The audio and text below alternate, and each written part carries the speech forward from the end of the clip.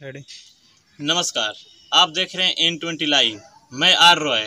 आप सभी दर्शकों का एक बार फिर से स्वागत करता हूँ। जैसा कि एन ट्वेंटी लाइव की टीम आज दो माह से विकास की खोज में निकली हुई है और विकास की खोज के क्रम में आज हम पहुँचे हैं सिवान सदर के पंचायत में। और पचलखी पंचायत में आने का सिर्फ़ मेरा एक ही उद्देश्य है विकास की खोज। तो कुछ दिन पहले आपको ग्राउंड रिपोर्ट में पचलखी पंचायत का ग्राउंड रिपोर्ट भी दिखाया गया है। विगत पाँच वर्षों में इस पंचायत का कितना विकास हुआ था? उसमें वर्तमान मुखिया और वर्तमान वार्ड लोग का भी रिपोर्ट दिखाया गया था। तो खैर, अब तो चुनाव काफ़ी नज़दीक है। चुनाव आयोग द्वारा चुनाव की घोषणा भी कर दी गई है और 29 सितंबर को सिवान सदर का चुनाव संपन्न कराया जाएगा। उसी में पचलखी पंचायत भी आता है। तो पचलखी पंचायत का भी चुनाव 29 सितंबर को होगा।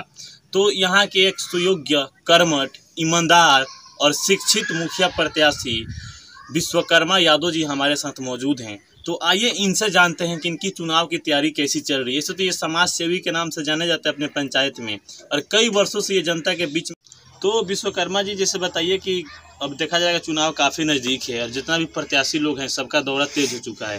वो डोर टू डोर जा रहे हैं, लोगों से संपर्क कर रहे हैं, क्योंकि उनके नज़र में चुनाव काफ़ी नज़दीक है। लेकिन आपका भी कोई शुभग्राहट नहीं है, आप जनता के समक्ष आप अभी जा नहीं रहे। अभी जनता जो हमारी तैयारी है, वो जनता तैयारी करेगी यह जनता का चीज़ है और जनता का सोच अगर मेरे प्रति बनता है तो हम मैदान में आएँगे।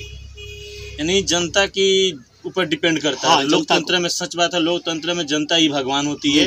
वो जो चाहेगी वही होता है। तो यानी आपका भी क्या नाम है कि आप जनता के हिसाब से ही चलने वाले हैं। हाँ। जनता अगर आपके साथ आती है तो आप जनता के समक्ष आप हाँ। जाइएगा। तो खैर ये तो अलग बात है लेकिन देखा जा रहा है कि चुनाव काफ़ी नज़दीक है। इसके हाँ। मद्देनजर आपका भी तो कुछ सोच होगा अपने पंचायत के लिए। हाँ। उसका क्या सोच है आपके देखिए- जनता के लिए क्या सोच देखिए हमारा सोच यह है कि जनता जिस सोच से हमको लाती है उसके सोच के अनुसार हमको उसके विकास उसकी सेवा के लिए खड़ा उतरना है हम्म। जैसा कि आप एक भूतपूर्व बीडीसी रह भी चुके हैं इस पंचायत का तो आपको एक राजनीति अनुभव भी है।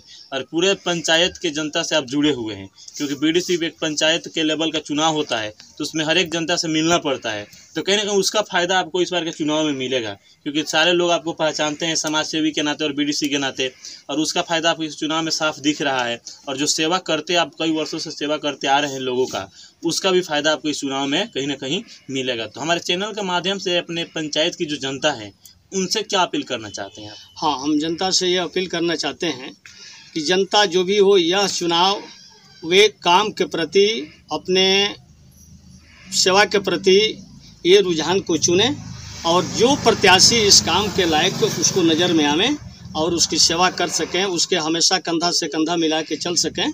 अगर इस तरह का हो अगर जनता हमें चाहती है तो हम मैदान में आएँगे।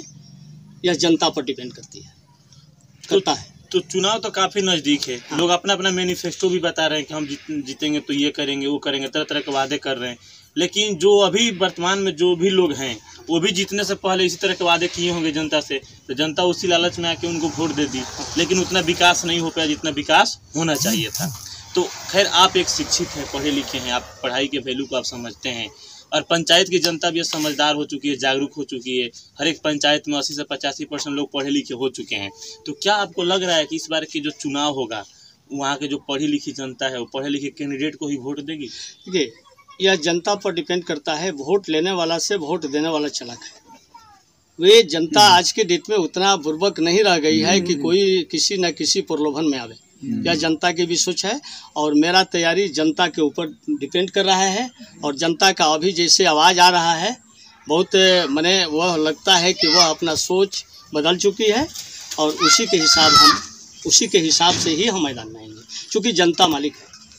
हर चीज़ जनता के इच्छा से ही या जनता के चीज़ें, यह नहीं है कि हम हम मैदान में निकले और हमें सुंदरता या हमारे धन या किसी पर वोट दें। यह जनता की सोच बन चुकी है और जनता अपने सोच के हिसाब से जैसा रुझान आ रहा है वैसा हमारी मेहनत से जाता है। तो हमारे चैनल के माध्यम से अपने पचलखी पंचायत की जो जनता है जो भी आपको देख रहे हैं उस जनता से आप क्या रिक्वेस्ट करना चाहते हैं क्या निवेदन करना चाहते हैं हाँ जनता से यही रिक्वेस्ट करना चाहते हैं कि आप हर बेर के बारी मैंने हर समय के चुनाव जो पीछे चुनाव हुआ वह चुनाव को जात पात पार्टी पौवा से उठकर जो विकास करने वाले, जो काम करने वाले, उसका प्रतिष्ठा करने वाले लोग हों, आप उनको चुने। तो जैसा कि हमारे साथ मौजूद थे अभी पचलखी पंचायत के एक सुयोग्य कर्मठ और शिक्षित मुखिया प्रत्याशी विश्वकर्मा यादव जी इनका साफ़ का नाम है कि आज की जनता समझदार हो चुकी है, शिक्षित हो चुकी है और जाति, मज़हब, धर्म के नाम पे चुनाव करने वाली जनता अब नहीं है। अब जनता विकास का मुद्दा देखेगी और जो कैंडिडेट, जो प्रत्याशी विकास करने लायक होगा, जो जनता के नज़र में लगेगा कि ये व्यक्ति विकास कर सकता है, जनता उसी को अपना बहुमूल्य और कीमती वोट देकर इस पंचायत का मुखिया बनाएगी। और इनका ये भी कहना है कि मैं विगत कई वर्षों से अपने पंचायत के हर जनता से जुड़ा हुआ हूँ और हर दुख सुख में मैं उसका शामिल रहता हूँ। हालाँकि ये भूतपूर्व बीडीसी भी रह चुके हैं और बीडीसी के नाते ये पूरा पंचायत का भी कैप्चर किए हैं, पूरे पंचायत के लोगों से जनसंपर्क भी इनका रहा है। और कहीं ना कहीं देखा जा रहा है इस बार के चुनाव में, पंचायती राज चुनाव में, खासकर पचलखी पंचायत में, कि ये जो विश्वकर्मा यादव जी हैं, इनका जो समाज सेवी का जो कार्य है और भूतपूर्व जो बीडीसी का जो पद पर ये रहे हैं, उसका फ़ायदा इस बार इनके मुखिया के चुनाव में साफ़ दिखाई दे रहा है। और जनता का भी फीडबैक इनके साथ बहुत ज़्यादा है। और जनता का भी कहना है कि चुनाव में अगर आते हैं तो हम लोग खुल के उनके साथ सपोर्ट करेंगे। और जो इनका बीस पंद्रह बीस साल का जो एक्सपीरियंस है राजनीति का, जो अनुभव है, वो इस बार के चुनाव में सारे प्रत्याशियों पे हावी होगा। और ये शिक्षित भी है, शिक्षा के वैल्यू को भी समझते हैं और पंचायत को एक अलग मुकाम पर ले जाने के लिए तत्पर हमेशा जब बीडीसी पद पे ये कायम थे तो उस समय जो पंचायत के जो विकास किए, ये सबको पता है, ये यहाँ की जनता भली भांति परिचित है। और प्रखंड के द्वारा इनको पुरस्कार भी दिया गया था, एक लाख के चेक से नवाजा भी गया था, बिहार सरकार द्वारा। उसमें भी इन्हीं का लिस्ट में सबसे नाम आगे था। पचलखी पंचायत के जो बीडीसी थे ये। तो ये किसी परिचय की मोहताज नहीं है, इनको हर पंचायत की जनता जानती है और भली भांति जानती है। इनके जो स्वभाव है, जो कर्तव्य है और जो कार्य करने की शैली है, उससे जनता भली भांति परिचित है। किसी किसी परिचय के मोहताज नहीं है, विश्वकर्मा यादव जी।